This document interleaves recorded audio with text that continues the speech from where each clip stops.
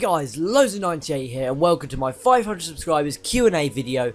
So I got a total of 14 questions which I'm pretty pleased about, seeming as I was only aimed for 10. So that's 4 more extra to add into this video, so let's get underway. So the first question is from Niakara, can I see your face? Only meme, wahahaha. No. Unless I get to like 10k I'm probably not going to show my face if I ever get that far. Uh, so yeah that's it really. Moving on to Daniel Saft's question, he says, What's your overall favourite loadout on Killzone Mercenary, like your primary, secondary, vanguard, and armour? So my favourite primary weapon, I normally use the M82, which is the first weapon, or the Star 52 SE, which is the second primary weapon. They're two great weapons. For secondary, um, I usually find myself using Tranquilizer Gun because it's fun to troll people. And uh, I sometimes use Rocket Launcher if I'm angry because it just gets me easy kills. Um, and I sometimes use the LS18, which is an armor piercing full auto gun, which is really good for killing people with blast armor and uh, ballistic armor. For the Vanguard, I often use Mantis Engine just because I'm guaranteed at least 5 kills. And uh, that's it really. And I also use a proximity mine. And we have another question from Mr. Double C this time. Uh, he says, will you still be playing Killzone Mercenary with Jordan? And if they do, some subscribers. Uh, okay, that kind of makes sense. Uh, yeah, I will be still doing Killzone Mercenary with Jordan. Me and Jordan are really good friends on PSN. We love to have a laugh on Killzone, so definitely I will be making more. And uh, I'm thinking of doing some with subscribers as well, so I hope that's answered the question. Okay, so this is my third attempt answering this question. I've tried to answer it twice before and I had to keep editing it out. I'm really struggling to answer this. Why do you do Vita gameplays rather than other consoles? So I'm going to put this really, really clearly. One, I only have a Vita, and two, Vita is unique and original. Okay, most gaming channels, oh yeah, COD and FIFA, it's nothing different. Whereas by doing Vita, not many people um, have Vita channels, and it's something a little bit different. So I hope that answers your question. Um, moving on to Minecraftdominion's question. Thoughts on Taylor Swift? Now, originally I didn't think she was that fit, but she's pretty fit. So, yep, that's my thoughts on her. Wensky asks, what is your real name and how old are you? I'm 15 and I'm not going to tell you my real name. Uh, maybe in the future I will. So, Raise Mahmood asks, could you please do reviews of Vita games, please? And I love your vids, don't stop doing these Vita gameplays. I'm not going to stop doing Vita gameplays, and I'm thinking of doing some reviews. The only problem is I sometimes get muddled up when I'm talking and I might end up saying the same thing over and over again. So if I was to do reviews, it'd probably be if I got a couple more hundred subscribers uh, and I'd probably have to plan out what I'm going to say beforehand. So moving on to Halo Pro's question, why do you start YouTube and why name it LowZ 98? Well the reason I started YouTube is because I had an old uh, channel I used to do little animations on and that was when I was a lot younger and uh, I quit that channel, it wasn't really going anywhere, and I didn't understand YouTube much at the time, it was back when they had very, very old channel layouts, and um, yeah, about a year or two back, I just thought, you know, I'd love to have a YouTube channel again, so I made another one, and then of course I bought my Vita, and uh, that went from there. And why did I name it LowZ 98? Well, the reason I named it LowZ 98, I think I think it, YouTube might have suggested it. I'm not sure, but uh, my old name I was going to use got taken, um, and I was kind of like, mm, what sounds cool? Low Z. And eventually I figured out Low Z and then put 98 at the end. And it was easy. At, at first I thought I wasn't going to remember it. But uh, now I'm really glad I did it because it's quite a cool name. So I hope that answers your question. And let's move on to Creeperzilla64. He asks, can you add me on PSN? Yes, but I'm not going to tell you my PSN.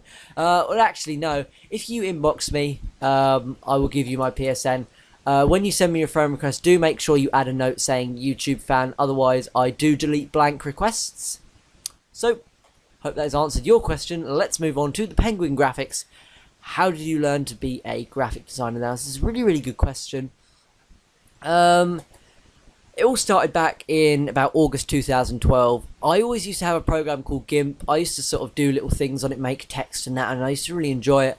And um, yeah, I used to make myself really simple, simple backgrounds.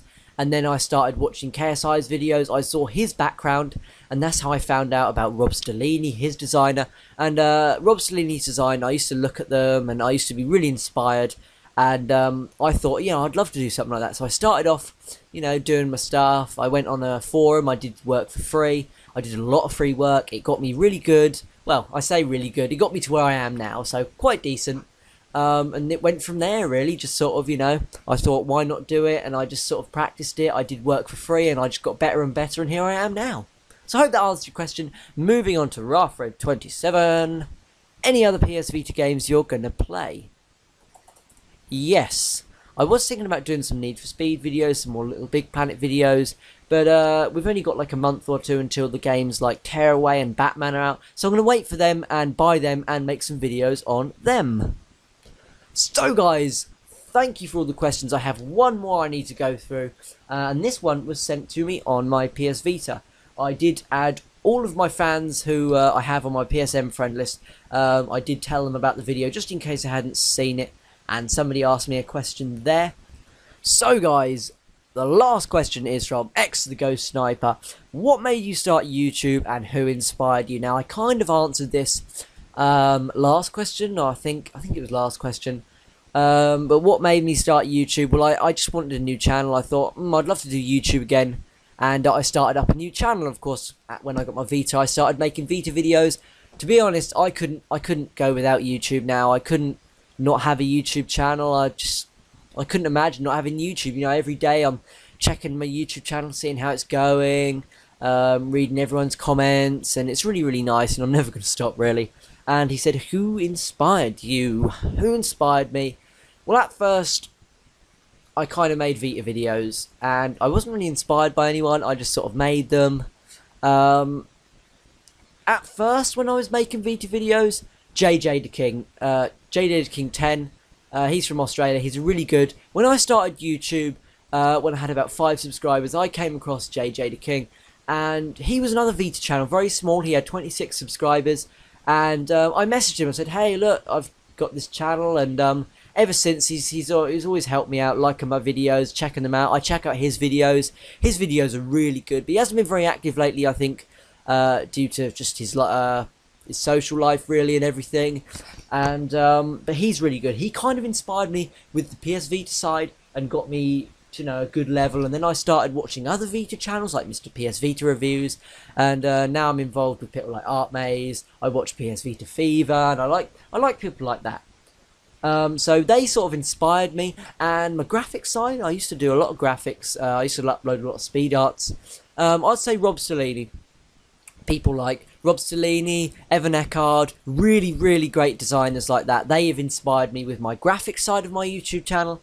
And uh, yeah, I hope that answers your question. So guys, I've been LowZ98. I'd just like to say a big, big thank you for all the questions. Uh, hope I haven't rambled on too much. I kind of feel like I, uh, I kind of ramble a bit and I don't really make sense. But there we go. That's me. Uh, thanks for all the questions. Thanks for the support. Thanks for 500 subscribers. I'm at 505 at the moment, which is awesome. Uh, I'm going to try and get some more videos done very, very soon. Uh, so guys, I've been LowZ98 and I will see you in the next video.